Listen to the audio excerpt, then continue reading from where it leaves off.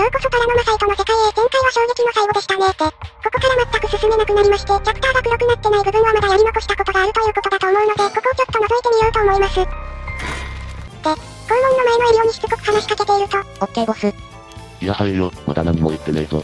あはい、何ですか？昨日の夕食が思い出せないとかですか？あっちで現場の調査員の持ってるペンが書けなくなってて困ってるみたいだよ。お前、替えのペンを持ってたら貸してやってくれや。それから昨日の俺の夕食はカツ丼だ。心配しなくて大丈夫だ。いやー、さすがにいつでもペンを持ち歩いているほど頭脳派じゃないです、俺。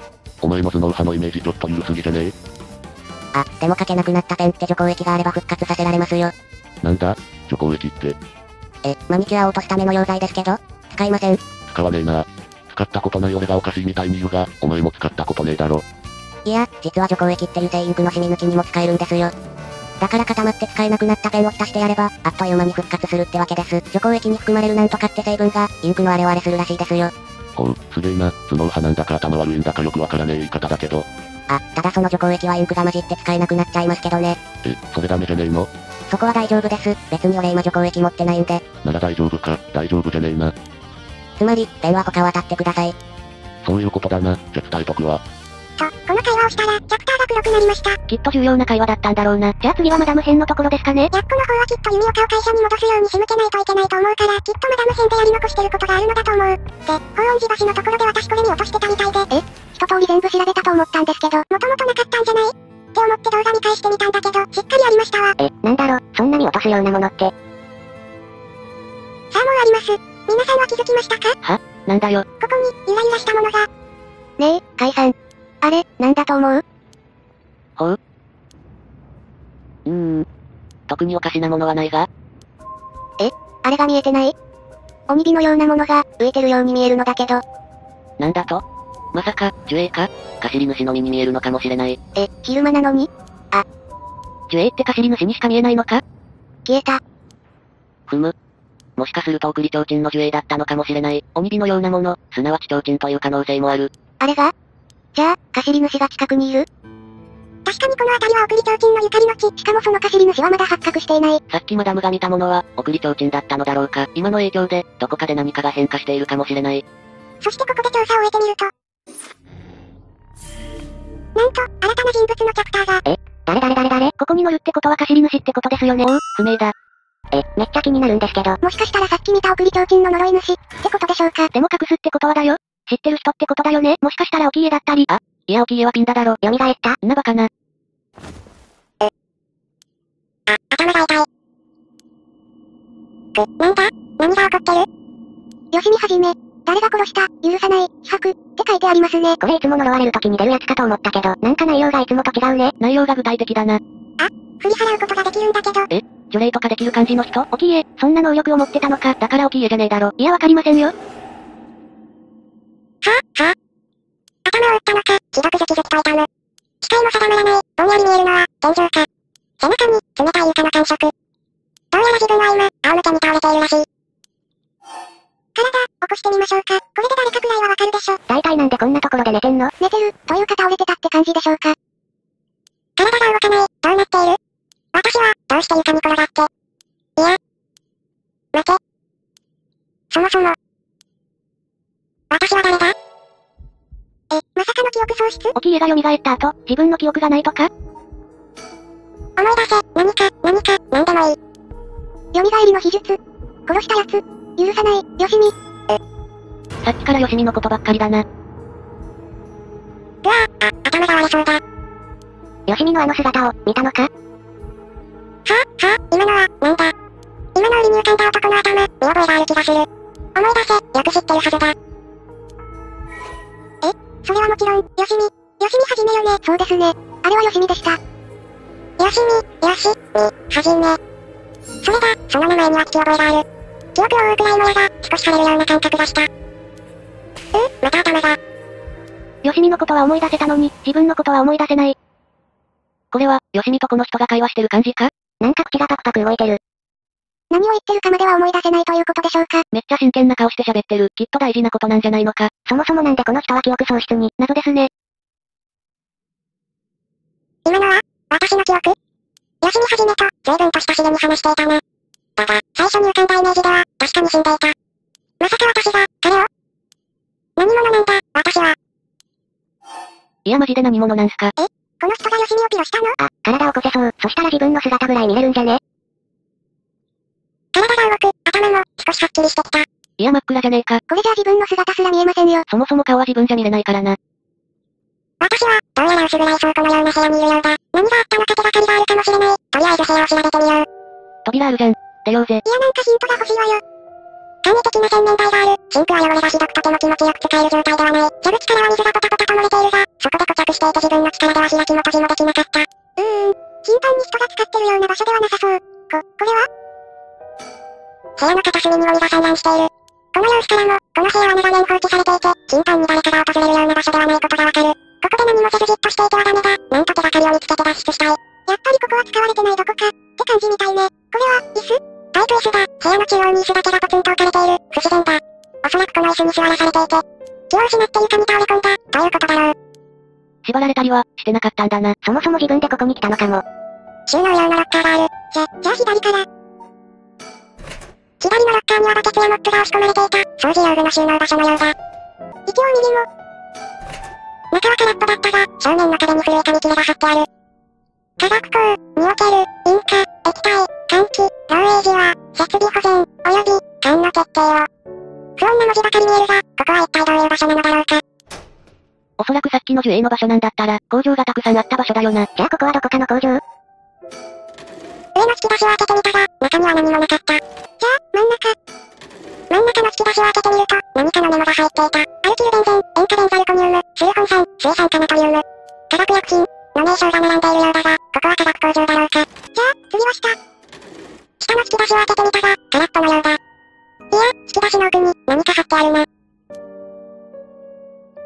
覗き込んでみるとシールのようなものがあった。でも暗くてよく見えないな。これ、なめどりシールだろ。事件には関係なさそうね。事務所にあるようなデスクが、机の上には使い捨てられた事務用品が散らばっている。唯一まだ使えそうなものは。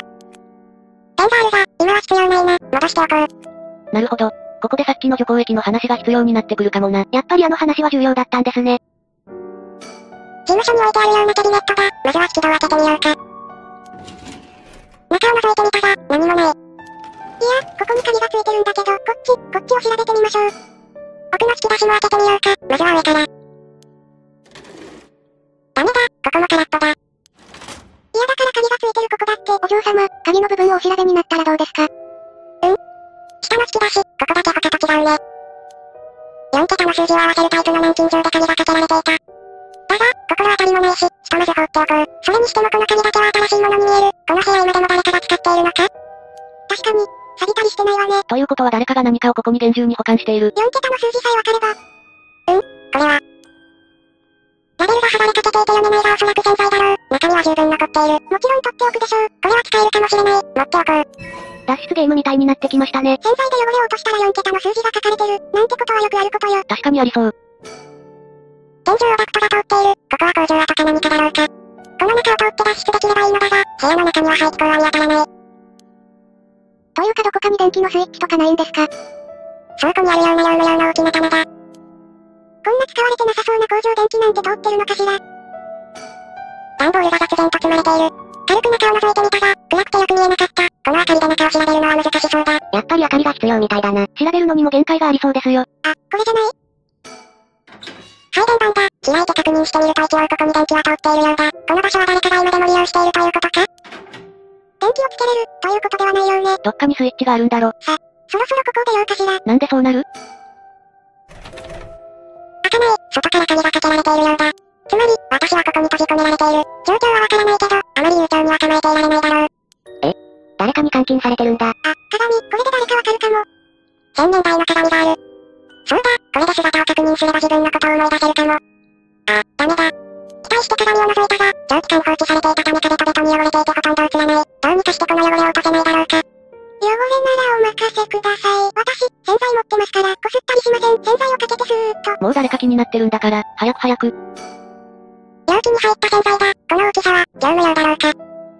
説明聞きたいんじゃなくて、この洗剤を使えって言ってんの。そうだ、この洗剤で汚れを落とせるかも。と思ったけど洗剤をかけるだけではこの汚れは落とせそうにない。何か、副道具があれば。おいおいおいおい、こすらないですーって言ってたの誰だよ。ファンだってギコギコしてただろうが。左のロッカーにはバケツやモップが押し込まれていた。掃除用具の収納場所のようだ。そうだ、この掃除用具使えるかもしれない。いろいろ揃ってるな。バケツに洗剤を入れモップを十分に浸した。これで多少頑固な汚れも拭き取れるだろう。モップで鏡を拭くのはどうかと思うが、今はそんなことを言ってる状況でもないんでね。よし、早速それで鏡を拭いてみよう。ゴシゴシしたるわ。洗剤に浸したモップがある。これで鏡の汚れを落とせるはずだ。私はこの人は絶対置き家だと思いますよ。まだ言ってんの？うわすごい、あっという間に綺麗になった。この洗剤いい仕事するな。覚えておいて家に向かおう。じゃ、その姿見せてもらいましょうか。おい全然大きい家じゃねえぞ。え？おかしいですね。置き家だとマジで思い込んでました。まああいつはモブで終わるとは思えないが。こ、この人、あの人じゃん。よしみはじめの婚約者ですね。これが私の姿か。そうだ、確かに私だ。見慣れた私の姿。けどなんかしっくりこないね。何かが足らないんだ。メガネとかですか？してなかっただろ。あ、名前、自分の名前が出てこないからだ。どうにかして自分の名前を思い出さないと。ほ、保険証とか、免許証とか、この時代でもそのくらいあるよね。財布、財布持ってねえのかよ。まずは思い出してみましょう。私の姿は分かった。次は、自分の名前を思い出さないと。私の記憶よこの顔の女性に覚えはないか？出てこい、私の名前。名前は、確か。長沢まゆさん、だったわよね。よく覚えてたな。人の顔と名前を覚えるのは得意なのよ。長沢まゆ長沢まゆ。来たよ、ピント。そうだ、私の名前は、長沢まゆだ。いやーほんと美女ですな。私の名前は長沢まゆで。この姿見たってことだよな。この人が犯人なのそして、さっき思い浮かんだ男、吉見はじめの婚約者だ。婚約者を普通ピロス？あれ？さっきのあれが、私が過去に見た光景なら、はじめは、もう。いや。あのはじめがそう簡単にくたばるもんか、きっとなんかの間違いだ。あいつのことだから今頃、血眼になって私を探しているだろうさ。こんなところ、とっとと抜け出して顔見せてやらなきゃね。残念ですが、吉見さんはもう、婚約者がピロされてさぞかし辛いだろうな。そうそう、あかり、最初床に寝転がってた時、天井に蛍光灯みたいのあったわよね。ということは電気はつくのかも。よく見てみや、ここの天井の照明はついてるようだね。それでも薄暗いのは、蛍光灯に埃が固着して汚れてるからか。汚れといえば、ここはあのモップの出番だね。汚れついてるだけでそんな暗くなります？それぐらいすっごい汚れがついてるんだろうよ。よし、これで少しは明るくなったね。部屋も調べやすくなっただろう、何か見つかるといいけど。マジで明るくなったじゃねえか。さっき見えてなかったものが色々ありそうですね。漫画雑誌だ、週刊少年スコーピオンと書いてある。確か、はじめがいい年して読んでた漫画雑誌だ。これのヤンキー漫画が面白いとか言ってたっけいや今は思い出に浸ってる場合じゃない。他を探そう。吉見さんのことばかりなんですね。大好きだったんだろうな。って、これ、何か落ちてる。呪詛玉ですね。こんなものが落ちてたのか、気づかなかった。木彫りの提灯なんだかやたら不気味な癖だね。朽ちてはいるけどこいつだけなんか変だ。他の放置されてるゴミとは何か違う。やっぱりこの人が送り提灯の貸し主だったのか。大体貸し主がはっきりしてきましたね。うん？な、なんだい？やっぱさっき見た鬼火だ。どこか悔しげな、恨みの記憶が頭に入り込んでくる。悪意ある。呪いの主を、自らの呪いで、滅せよ。貸し主であれば、その持ってる呪いのピニ方で呪い殺せる。だって、相手が貸し主だったらピロせるんだ。ぐー。どす黒い粘液のような、重苦しい殺意が私の魂に侵食してくる。まあ、この人には蘇らせたい人いるだろうしな。やっと明らかになったわね送り提灯。月明かりの下、橋のたもとに何かがぼーっと浮かび上がる。虫の根で倒れ伏す男の姿。その表情は後悔の念に濡れていた。脳裏に浮かぶは杉西方の情景。若い夫婦とその娘、すべて失ってしまった。世話になった恩をあだで返してしまった。彼らの無念に蝕まれるが今となっては取り返しもつかぬ。ついで浮かぶあの陰陽師の女。思えばすべて奴の仕業だった。いや、それもこれも己の未熟さが招いた身から出た詐欺。満身を見抜かれ愚かにも禁忌を紐解き多くの不幸を招いた。蘇りの秘術はやはり触れてはならぬものだったのだ。万感も思い至る中、男の命の灯火は消えようとしていた。せめて最後を伝えたかったがもはやそれも叶わぬ。地獄行きは覚悟の前、願わく払いさえに望みを託せぬだろうか。たとえこの身を失おうとも罪の償いを。荒井氏が言ってましたが、もしかしたらこの呪いが聖満のやつなのでは？ああ、なんかそんなようなこと言ってたような。はぁ、はぁ。お、思い出した。全部思い出したよ。私がここに連れてこられた理由。そうだ、さっき。その誰かも思い出したんだな。知ってる人？誰なんだろ気になる。はぁ、はぁ。うぷ、気持ち悪い。こ、ここはこれは、連れられてきた時の記憶酒でも飲みすぎたんでしょうか A 会長、ようやく白状しました。誰かが話してる電話か今、会長って、そんなのあいつしかいないわな。はい、A、頑固だったので、自白剤を限界まで。じ、自白剤私は、自白剤を打たれたのか後ろに、誰かいる、見れないかく、ダメだ、体が、これ以上、動かない。頑張って、誰かは大体見当はつくけども、自白剤って何？怖いんだけど。少しなら動くんじゃない、う、動く、顔ぐらいなら動くのかも。やっぱりこいつか。おや、目が覚めましたか？弓岡。こいつがまゆさんを監禁。だんだん頭もはっきりとしてきたのではないですか？あんたは、弓岡。くそ、騙したね。騙したとは人聞きの悪い。あなたが協力的なのがいけないのですよ。私に何をした、自白剤って、どういうことだ？大丈夫、命に別状はありません。ただ、記憶や思考には影響が残る可能性はありますがね。それめっちゃ怖いじゃん。そうか、あんただね、はじめを襲った奴は。私から何かを聞き出そうったって無駄だよ。いえ、ご心配には及びません。もう十分です。何？会長への報告の途中ですので、もうしばらく休んでいてください。おい、やめろ、私に近寄る、な。こいつら何がしたいの？よしみはじめもこいつらがピロしたの？やっここ、被白者の工場ってことですか？だからなんか化学薬品のなんたらが書いたものがあったのか。ぱり被白者が黒幕なのか。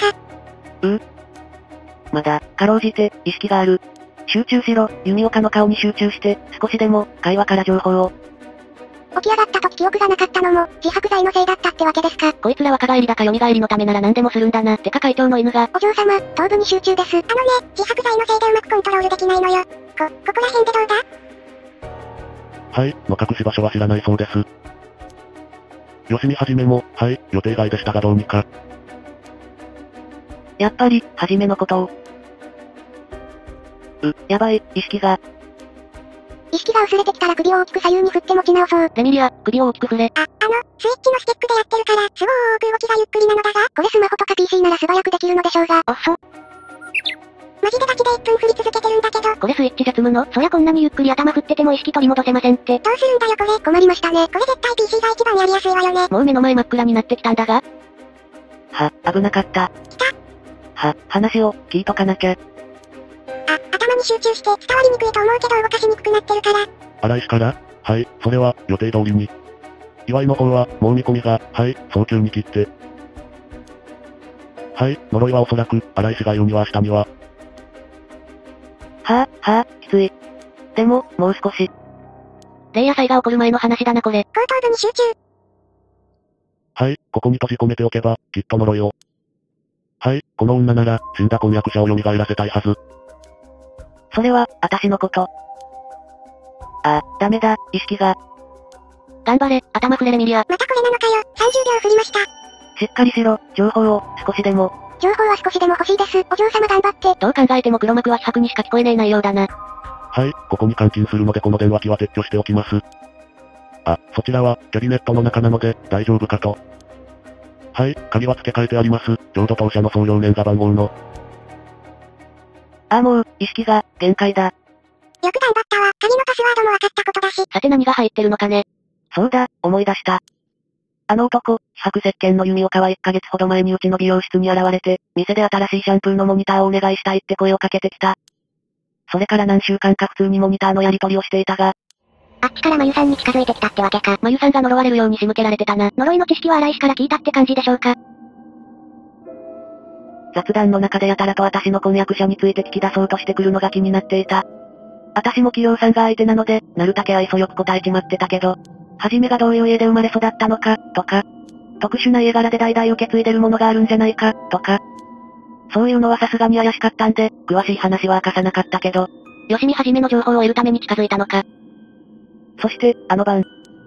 仕事明けに待ち合わせてた場所に来なくて、教育って言ってた旧安田庭園に行ってみたら、あいつが殺されてるのを見つけて、ショックで、何も信じたくなくてそのまま逃げ去っちまって。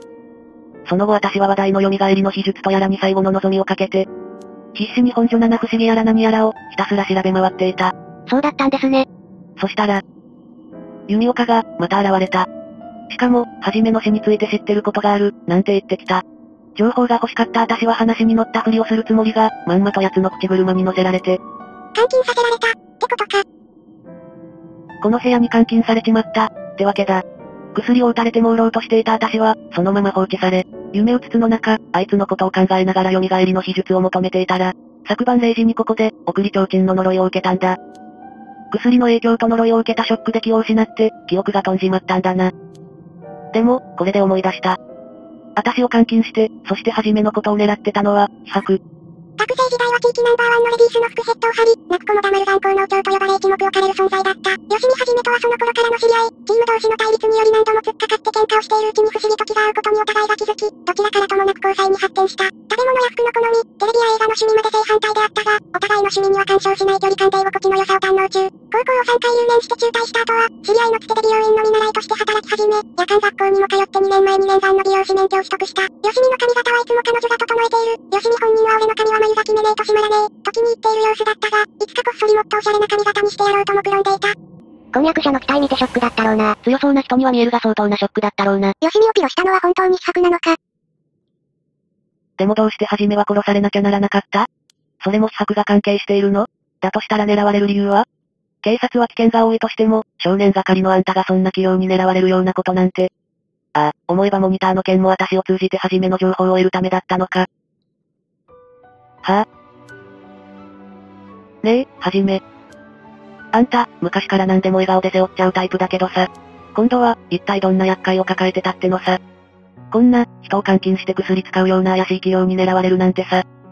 その秘密は、私にも教えられないもんだったのかい？いや。弓岡は、自白剤で私から何か情報を聞き出せたようなことを言っていた。私の記憶にある情報で、あいつの秘密に関するものがあったってこと？だったら、それは何？私は、あいつから何かを聞いていた？いや、何にせよ一つ言ってやりたいのは、何一つだって非白なんかの思い通りにさせるもんか。あ、そうだ。はじめが隠してた秘密なら、私が守り通さなきゃいけないんだ。あいつがやり残した山があるなら、私が蹴りをつけてやんなきゃいけないんだ。だって、さ、昔から、無茶するあんたの尻拭いは私がやらされてきたからね。いいんだよ、あんたがやることなら筋はちゃんと通ってるはずだって信じてるからさ。この落とし前だけはきっちりつけてもらわないとね、見といてくれよ。ねえ、姉さん。今回はここまで、最後までご視聴いただきありがとうございました。